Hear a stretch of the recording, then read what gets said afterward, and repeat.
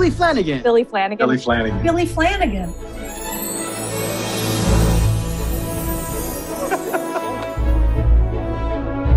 Ladies and gentlemen, boys and girls, welcome to Billy Flanigan's Experience. It was amazing. Billy's been working at Disney for a very long time. It was like an institution. I was loving what I was doing. It became my life. I became somebody who would learn things fast so that I would always be the one that they would turn to.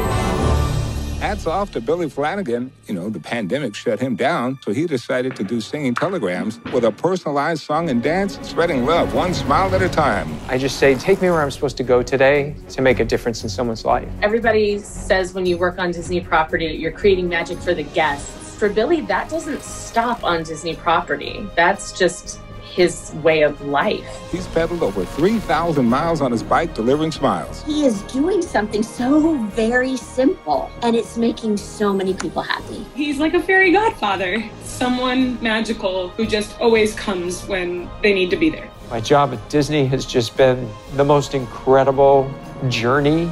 So I wake up every day and I, I think I am. I have no reason not to be the happiest man on earth.